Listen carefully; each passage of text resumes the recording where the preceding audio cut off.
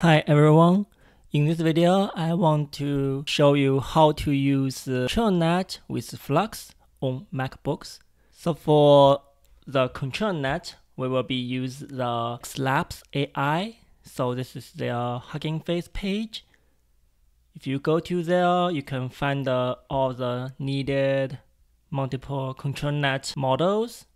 You can go ahead and download those. We will use that later. There's also a workflow there is uh, three workflows. There is also one Im image which you can use as example.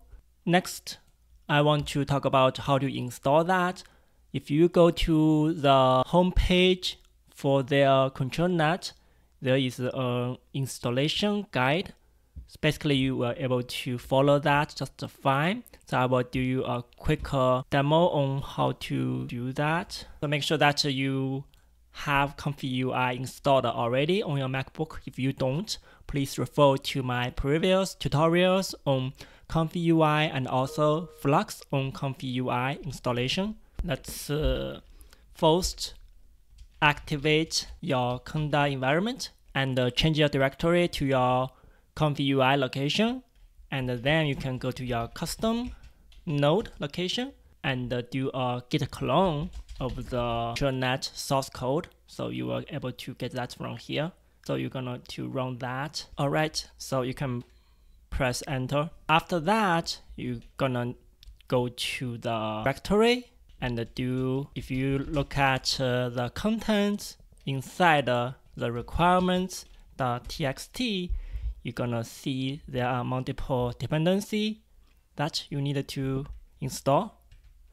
So you can do a pip install dash r requirements.txt so that we're able to get you installed with all the required dependency. Press enter to do that. All right, so because I already did that, I will not do it again, but make sure that you have everything ready. One issue that within Mac OS is that uh, there is some data type that's not uh, supported by the Apple's silicon. So we're gonna need to do a little bit uh, modification of the source code, but don't worry. I think uh, it's not very extensive change. So so we had some great issues reported, and there is one solution. I think that's can really be useful if you have some issues running the original code. So make sure that you can go to your source code file for this one. It's right located at the custom node xflux Comfy UI. There is a nodes.py. You're gonna need to add those this line after three or one, and then you double check that three. The next line is right here. So basically, you're gonna need to add the float 16. So this is the one that's supported by Apple Silicon. All right, so this one, make sure that you have that. This is a very key step. Make sure you do that. And then next, there is uh, another file located uh, in some subdirectory. So there is a uh, xrc flux math.py and on the line 17 so there is a float 32 to make sure that you have it modified as this one. So, so I think that's not very complicated. So only two files you need to make a modification to them and the only total is three lines change. I think you will be able to do that. All right. So, so next I also want to mention that, uh, so since we are here, so as you can see right here, because of the control net, it's really resource extensive, which uses a lot of VRAM. For for me personally, because I had a, a 36 gigabytes RAM MacBook, so it's not enough to run it using the FP8 or F, FP or other format. So, so I had to use the GGUF format, so which is a uh, Q4 quantization, which helps to reduce the RAM needed. So that is really helpful to me. So I also had a video for GGUF format. So please refer to that one if you have any issue using the format. So with that, I think we can formulate to start our UI and to get some demo to see how it uh, runs.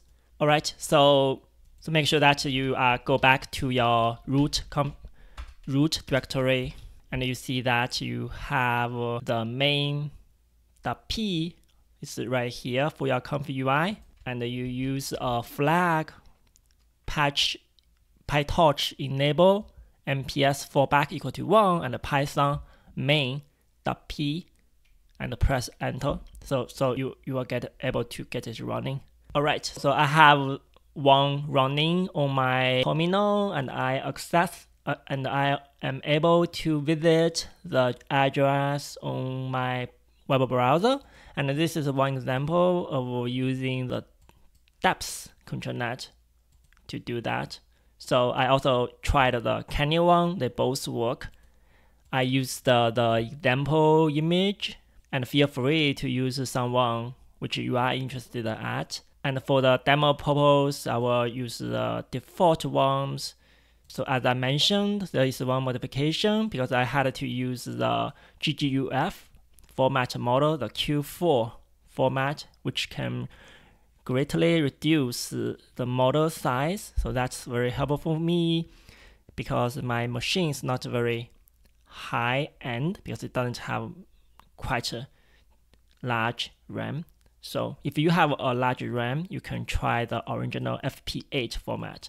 So basically, you just need to drag from the model into the XLabs sampler. And if you use the GGUF, you can able to drag from your model to the sampler here and uh, make sure that uh, you can have the same workflow. I will upload uh, this workflow to my GitHub page so you are able to have it and then you see that this is one example I did earlier. And uh, for the RAM part, it used uh, quite a lot of RAM. So as you can see right here, it use about uh, 16 gigabytes. And this is one is like idle. When it's uh, actually running, I think it's close to 95% range. And uh, we can get an idea of the performance. I, I had to warn you, it's uh, quite slow. So this is the performance wise. So I did a one example and it took me 22 minutes to get uh, this image because I had to use the default 25, but uh, I think uh, you can reduce that to 20 or even 15 you can try that. But uh, regardless of the speed, I think uh, the good thing is that uh, we are able to run it on MacBook. And I think the next thing to do is we can try to see how to speed it up. Let's wait for that. And uh, please uh, subscribe to my channel. I will provide uh, some latest updates to that. Stay tuned. Thank you for your support. I will see you next time. Bye bye.